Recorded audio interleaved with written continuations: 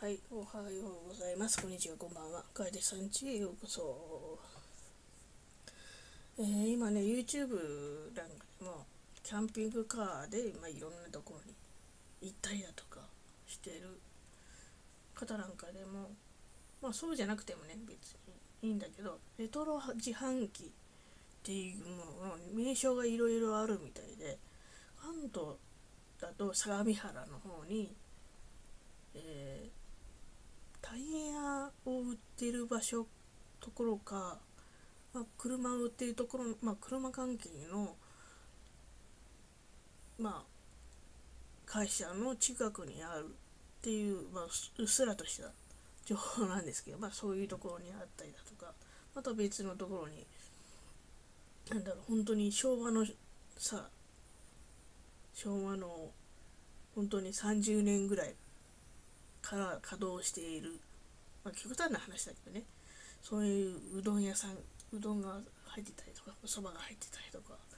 あと本当にコーラが瓶のやつだったりとか。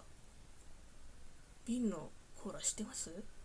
私知ってるんだけど何回か飲んだことある。うん。でも本当に最近なくなったなと思って。瓶は返してねって。うん。そうするとなんか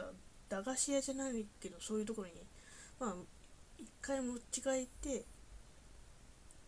あの一度ね、まあ、家に持ち帰ってで飲んで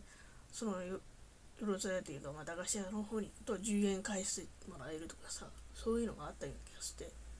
るんですよね、うん、でそういうのとか本当に40代くらいでも知らない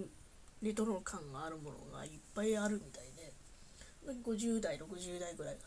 うわ懐かしいっていうものが結構名称になっているみたいですね。それは何でかとやっぱりその多分車中泊とかねいろいろいける世代っていう30代20代20代やねか、まあ、30代40代くらいのちょっと懐が余裕がある人が、まあ、いろいろと回っていくうちに、時に、あれこれなんだろうで、言ってみたら、あ、これ知らないぞ。結構古めかしいものだな。っていうのを、多分、Twitter ブログだったり、まあ、YouTube で上げている、上げていったら、まあ、どんどん広がっていて、でここの県のここにありますよ。似たようなのありますよ。もしよろしければ、ね、言っていただけたらいいと思います。動画にしてくださいっていう人もいるだろうし、うん、いろいろね、あるんですよね。本当に、え、こんなとこにあったのっていうな、本当に人が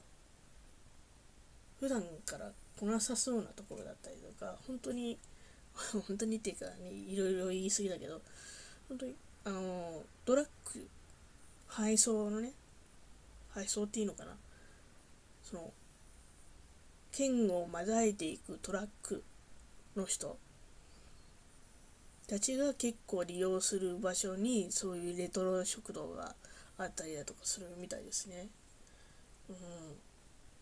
結構いろんなものがあるみたいです。詳しくは見てないけど。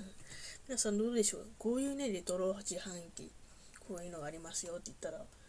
いうのがあったら教えていただけたらと思います。それでは皆さん、さよなら。短いけどね。